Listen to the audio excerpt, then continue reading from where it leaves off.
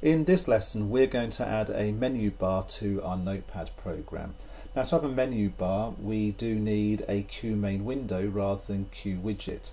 Now um, to make that work rather than writing the notepad program from scratch we're going to use a Q main window and we're going to make our notepad widget that we used previously the central widget for our Q main window. Apart from that, most of the code is going to be very similar to what we've had before. Okay, this is essentially the program we had when we made the notepad widget. All I've done is I've added in um, an import of a Q main window, a Q action and a Q app which we have seen um, in previous lessons. And look, if I run this, um, we get what we've had before where we can, well I can't save anything, there's nothing there, I could save a file or open a file or so on. So let's do what I said we're going to do. So the first thing is we don't want to be a Q widget because we want a menu bar. What we want to use instead is a um, a Q main window. So I'm going to call this one writer and that's a Q main window. And just just like we've done previously, what I want to do is I want to uh, initialize that just like we've got there. Now what we've got to do is we need um, an instance of the widget that we had before um, for our notepad and I'm just going to call that my form um, widget and that's going to equal an instance of notepad. And now I've done that, I can set the central widget um, of the Q main window, and that's just going to be self dot form widget. Now I think if I run this, we should get something, and it looks almost the same. Oh, sorry, I haven't actually done anything yet. Let's get rid of that. I've also got to change it so that we're bringing up an instance of writer instead. Now if I run that, and why have we not got anything at the moment happening? Oh, of course, because at this point we're not showing anything. And then if I run that, I'm going to cancel the one that was there before.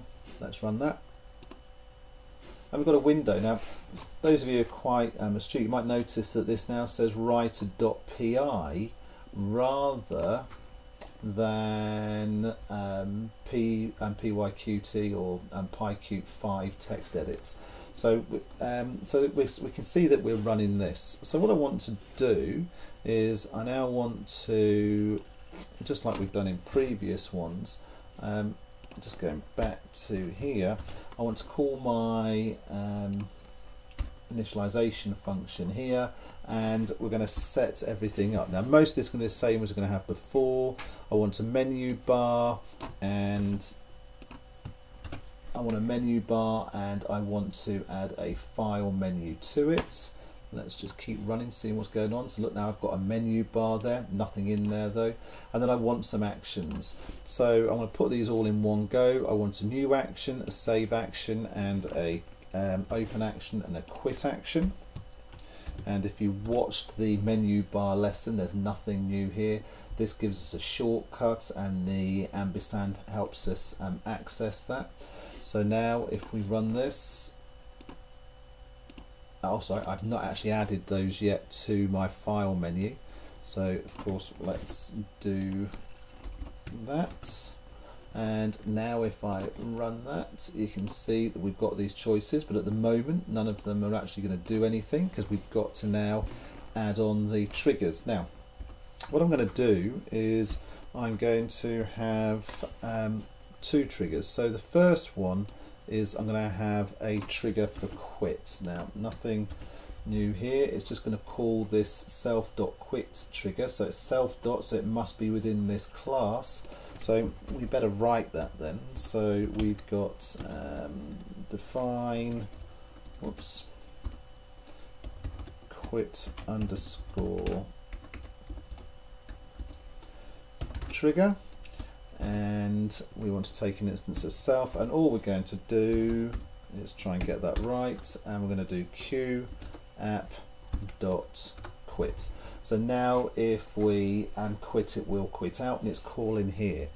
Now, what I don't want to do is have to rewrite all of these. So let's just see um, how we're going to do that. So the first thing I want to do is I want to um, respond. So here we're going to say, look, so when someone clicks on a thing in file, then um, get it. And then I'm going to put the whole function down here and we'll talk about what it does. Just trying to save time.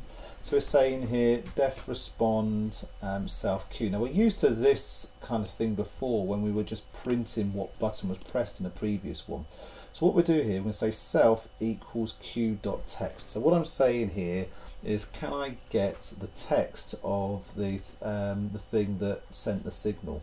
So it will either be new, it will be either and save or um, open or ampersand quit. And the ampersand quit doesn't really matter because it's going to quit out and do something. So we can kind of ignore that one. And I'm saying if the thing is new, then could I call self dot form widget um, dot clear text? So what does that do?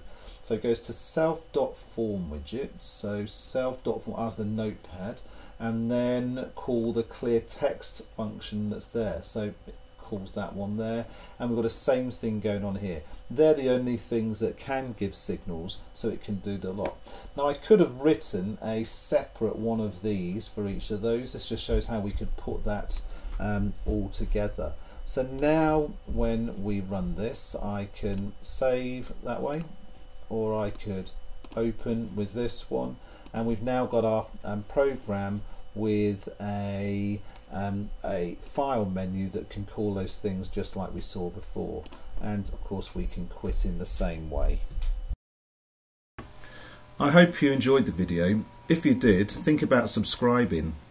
I've included a link to the code that I've used in the video below in the description. Stay in infield with Winfield.